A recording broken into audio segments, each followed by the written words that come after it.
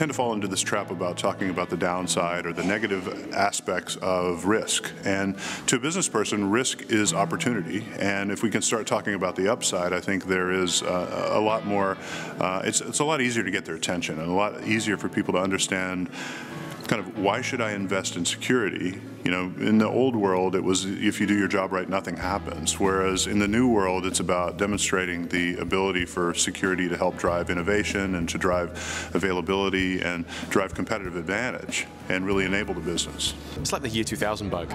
You got, they got all of this money to fix the year 2000 issues. Nothing happened, and the, the managers came back and said, "Nothing happened. What did we spend all the money on?" So there's there's a lack of understanding there to, to say, well, yeah, but nothing happened because we spent the money, and there's this uh, communication issue there. Security traditionally came from a very technical background, so number of leaders that you will find in, in security is they have a good technical background, but often problem we face is we we forget about the business people don't understand technology that well and we need to understand the language they speak. We need to understand the way they would like to be communicated. So they understand numbers. They understand a business language which is around cost, profitability, you know, how we are adding value to them and that becomes really, really important. Technicians are uh, very often they're in their little pigeonhole. They don't understand how the rest of the business would work. So they, they know what happens within the areas that they communicate with, but as an entirety, they don't understand the goals of the business. I often ask the attendees how many people have actually read the annual report of the the, the organisation they run for. And I would say 3 to 5% will show their hands. And then I'll ask the same question. Uh, another question would be how many people are, are, familiar with the business plan or what the business is going to be doing in the next three to five years.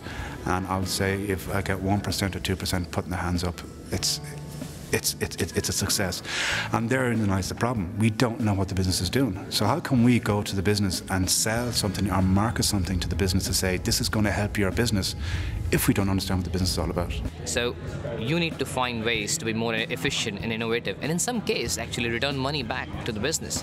If you have been given a budget, if you can bring some efficiencies and return some money back to the business, that builds the trust. That builds the credibility. And executives see you as a business person who's working in the interest of the organization. You just can't run in and say the sky is falling. If you don't patch this system or don't buy that solution, we're, we're, we're going to be insecure. You know, define what insecure means.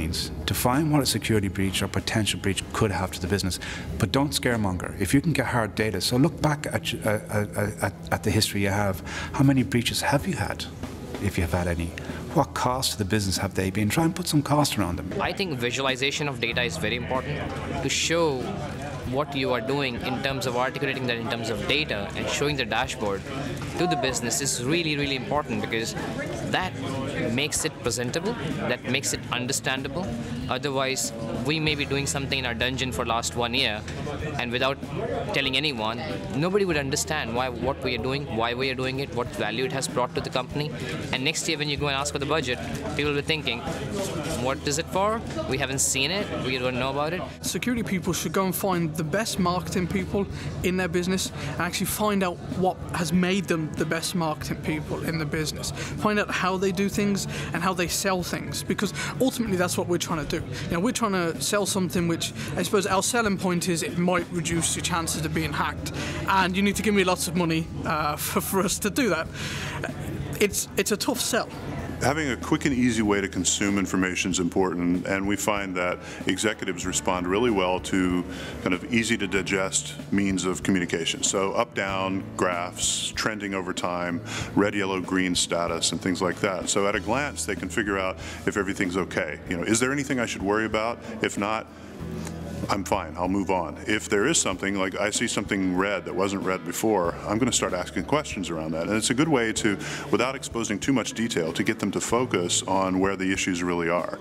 And what we find is that, um, you know, there's a lot going on in the business. You can't really take a lot of time providing raw data because it requires a lot of interpretation. So interpret it for them, present the findings, give it to them consistently so that week in, week out, they see the same view of this.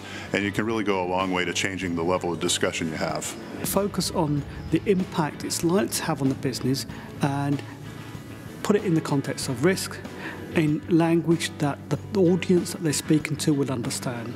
And that audience at the board level is different from the management level, it's different from the operational level, it's different from, you know, the general staff level as well. Different people need to see completely different things. They will understand it differently, its relevance is different, and I think that's very important that, you know, they have to uh, tailor things to the audience in any relationship, if two people are sitting on either side of the table and no one is making the effort to talk, that talk will never happen and that, that relationship is doomed.